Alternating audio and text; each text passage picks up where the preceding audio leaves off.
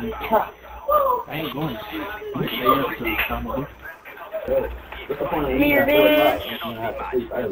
Man.